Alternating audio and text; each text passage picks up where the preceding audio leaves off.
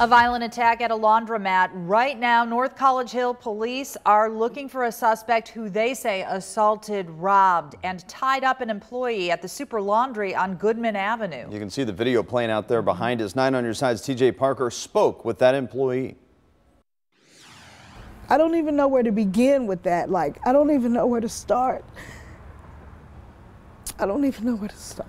Shaken up, Georgina Morris was by herself. There was absolutely nobody here. At this North College Hill laundromat at 3 in the morning when a man came in and attacked her. I tried to grab it and snatch the door back, but at this point, he's here. He just snatches the door out of my hand. Surveillance video shows a violent attack. I'm on the ground, so he's like, get down, get down, face down. I hear him just start snatching cords. So now he's got my hands behind my back, they're tied. At one point, he put his knee in my back. Another point, he puts his foot on my head.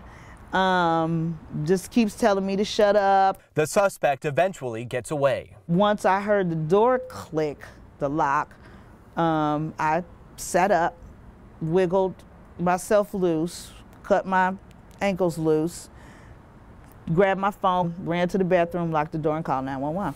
This person was looking for an opportunity, took full advantage of it, and he has no problem being violent. This is somebody that we have to get off of our streets right away. I'm trying to figure out, did this just happen?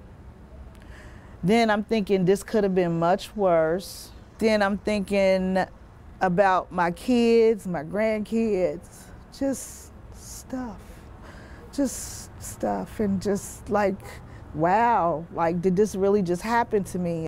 North College Hill police are hoping someone recognizes the man in that video. If you have any information, give them a call or Crime Stoppers at 352 3040. In North College Hill, I'm TJ Parker, 9 on your side.